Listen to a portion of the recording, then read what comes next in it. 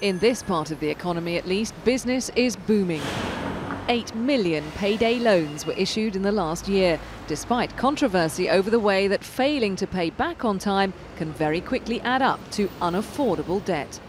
This customer's £170 loan ended up costing her £2,000 to repay. They were offering me more and more money until the point where they were actually physically offering me an amount that, with the interest they would have charged, would have been more than my monthly salary.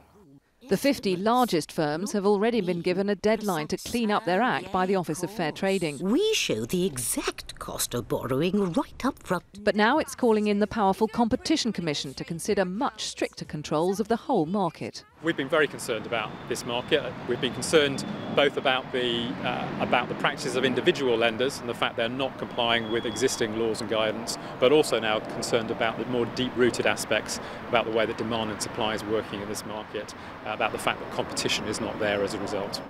The investigation will examine if the way costs are presented makes it hard for customers to compare loans, whether using speed as a selling point favours companies that cut corners, and if rolling over unpaid loans traps customers, limiting their choice of firm. Some lenders, like the Money Shop and QuickQuid, have signed up to a code of practice. Their spokesman says market mechanics isn't the issue. The focus should be driving out the dodgy operators. It's about standards and it's about good practice.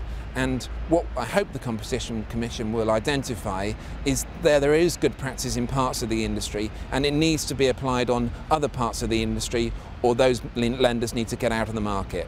The Competition Commission has the power to cap interest rates or ban some types of loan altogether, but it's likely to take a year to come up with reforms to better control this controversial industry. Catherine Jones, 5 News.